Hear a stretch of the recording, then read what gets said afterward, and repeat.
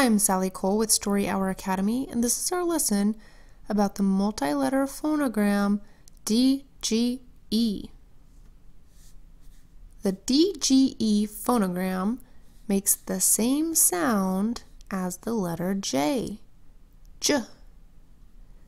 The DGE phonogram only follows a short vowel sound. Thus, when a word ends with the sound of J, J, it will usually be spelled with the DGE phonogram because English words don't end in J. Get out a paper and pencil. Let's write the DGE phonogram three times while saying the sound that it makes. D G E says J. Again, D G E says J. And D G E says J. Next, let's write six one syllable words with the DGE phonogram. First word is fudge. Fudge starts with a F that says f. Then you have a U that makes the short U sound a. And then you have the DGE phonogram that says j. F, a, j. Say it fast, fudge. Next word, badge. You have the B that says B, the A that makes a short A sound A, and then you have the D, G, E phonogram that says J, B, A, J. Say it fast, badge. Next word, judge. Here you have the J that says J, a U that makes the short U sound A, and a D G E that says J J a J.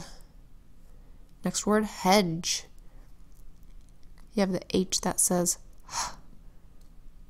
H. E that makes the short E sound eh, and a D G E that says J eh, J. Say it fast, hedge. Next word bridge. Bridge starts with the B that says B, and then an R that says er, I that makes the short I sound I, and then the D, G, E phonogram that says J. B, er, I, J. Say it fast, bridge. And last we have pledge.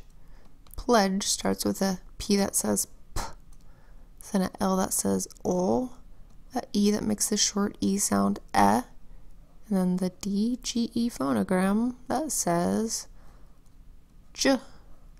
P O E J. Say it fast. Pledge. Now let's write five multi-syllable words with the DGE phonogram. In multisyllable words, when a syllable ending in DGE is followed by a syllable beginning with a vowel, such as ed, er, et, ing, or e, the e in DGE is dropped. I'll show you what I mean. Write the word judge. That's J U D G E.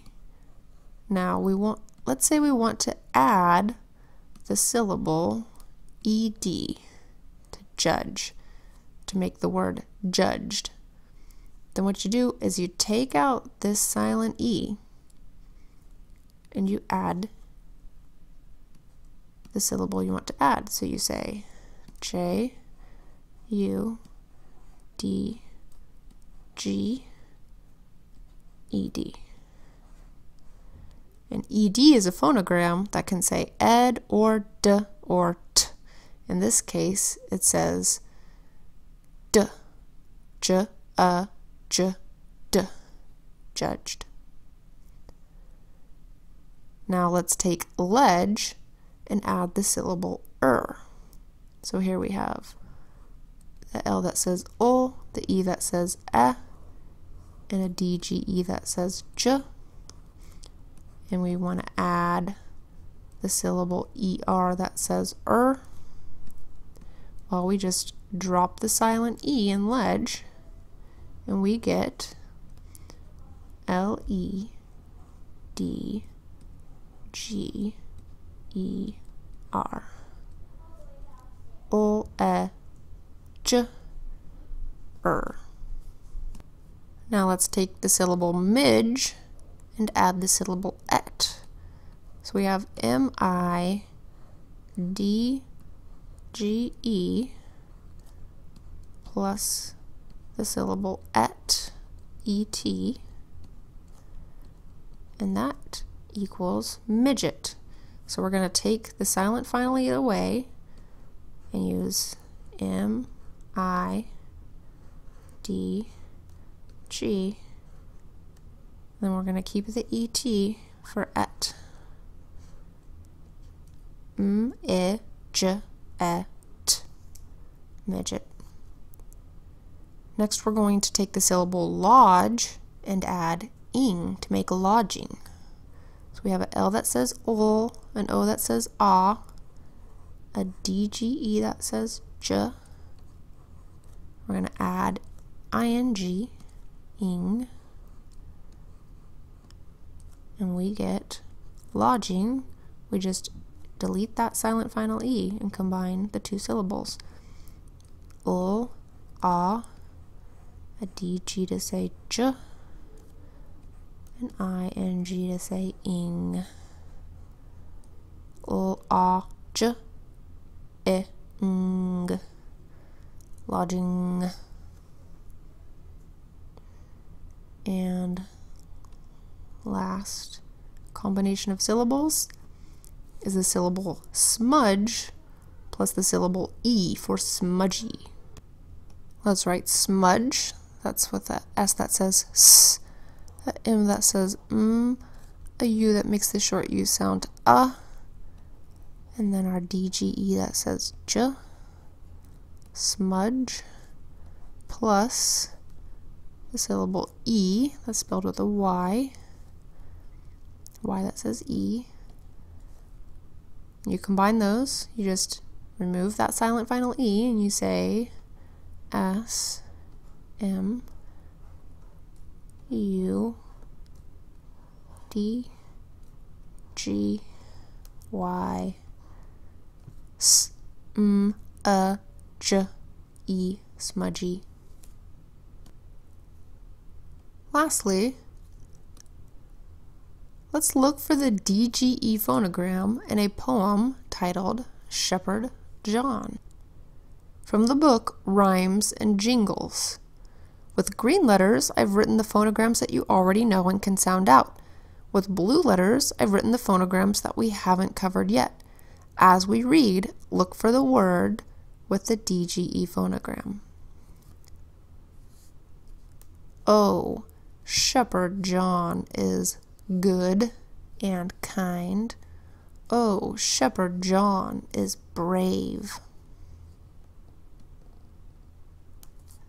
He loves the weakest of his flock.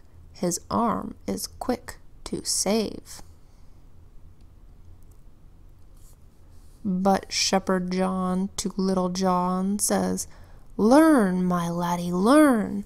In grassy nooks still read your books, and I for knowledge burn. Read while you tend the grazing flock. Had I but loved my book, I'd not still be in shepherd's frock, nor bearing shepherd's crook. The world is wide, the world is fair, there's muckle work to do. I'll rest content a shepherd still, but grander fields for you. Did you see the word with the DGE phonogram? It was knowledge. Write this down. Knowledge is spelled with the K KN phonogram that says N, then O W L E D G E. Knowledge. Knowledge means facts, information, and skills acquired by a person. Right now, you're acquiring knowledge about the English language. You know a lot, but you can always learn more. And one way to keep learning is to look up words that you don't know in the dictionary. For example, you probably don't know what this word, muckle, means.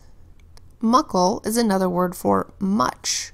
So this line that says there's muckle work to do just means there's much work to do. This poem had some sight words in it that we've covered before. Let's take a minute to make sure you still know them. The first sight word is you. Y O U. Y O U says you. The next word is there. T H E R E. T H E R E says there. Do you remember those? I hope so. Well, that's it for today. Your assignment is to look for more words that you can read in the book titled Rhymes and Jingles by Mary Mapes Dodge. I hope you enjoy the assignment and see you again here soon at Story Hour Academy.